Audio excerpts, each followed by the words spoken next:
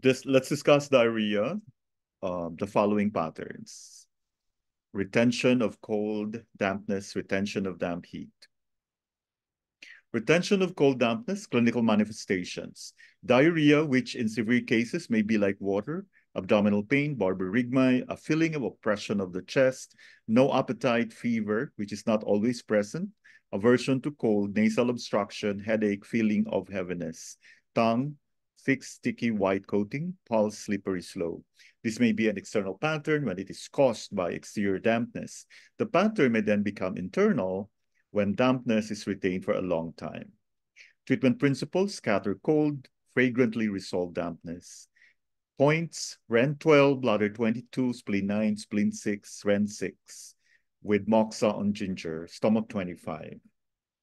Reducing or even method except on REN 12, which should be reinforced. REN 12 tonifies the spleen to resolve dampness. Bladder 22, spleen 9, and spleen 6 resolve dampness in the lower burner. REN 6 with moxa on ginger expels cold from the intestines. Stomach 25 stops diarrhea. Retention of damp heat, clinical manifestations, foul smelling, yellowish loose stools, abdominal pain, increased frequency of bowel movement, feeling of fullness and heaviness of the abdomen, burning sensation in the anus, feeling of heat, thirst, scanty dark urine.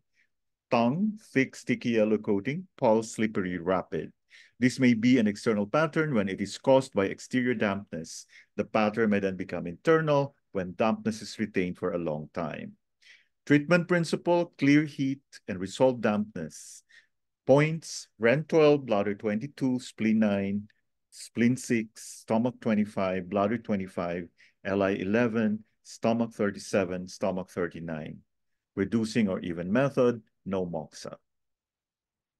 Most of these points have already been explained earlier for the cold dampness type.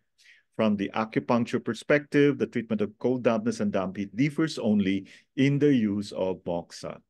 LI11 resolves damp heat and stops diarrhea from heat. As a Sea point, it treats the Yang organs and specifically diarrhea.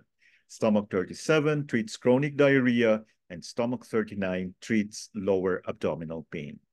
Thank you for your attention.